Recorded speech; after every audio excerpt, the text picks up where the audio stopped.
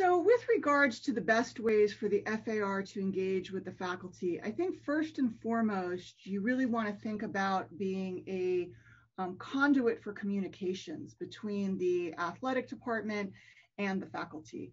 The way it works on my campus is we've actually split the FAR role into um, two separate positions. Um, my primary position as chair of the Intercollegiate Athletics Committee is to really handle the faculty side of things. So I um, report to the Faculty Senate. I am the person that the Senate contacts if they have questions. We've really tried to set it up too so that faculty know exactly who they are approaching if they have concerns about students traveling um, for athletic competitions. So rather than if a faculty member has a concern, rather than going straight to a coach, they are supposed to come to me. This has several advantages.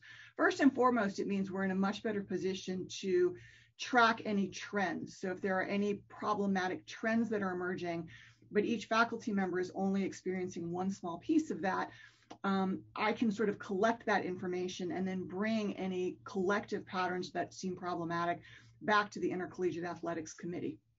In addition, I think on most campuses, the FAR is going to encounter some faculty who have pretty anti-athletics positions um, and are not feeling terribly supportive of athletics.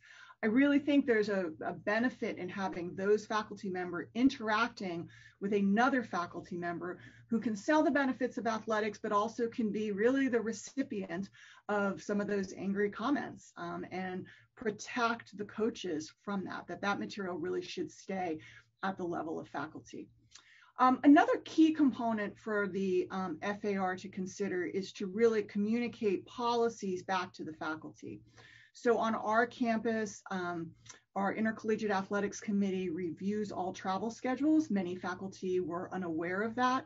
Um, even doing our best communication, some faculty remain unaware of that, but we've really managed to step up um, our game in terms of communicating with the faculty so that they really understand the processes by which um, we are approving schedules. Um, in addition, we've created policies with regards to taking exams while traveling. It is my job to communicate those back to the faculty.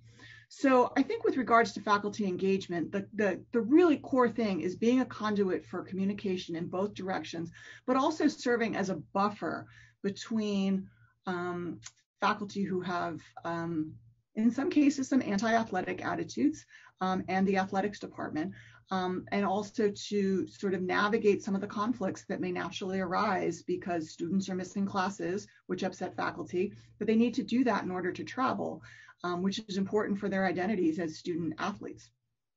So with regards to what information you should be sharing with the faculty senate, I think first and foremost, the senate needs to have a really good understanding of the policies and procedures that are occurring within whatever your athletic committee is. So I realize that some campuses um, don't have as tight scrutiny of schedules, but on my campus, we have very tight scrutiny of uh, travel schedules.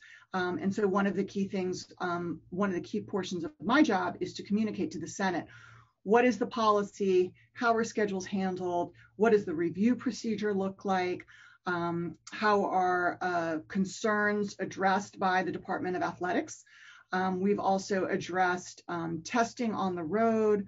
We've addressed, um, you know, any concerns that faculty are bringing to the Senate about athletics. Um, those then get discussed at the level of the Senate, and then I serve as sort of the representative of athletics um, back to the Senate.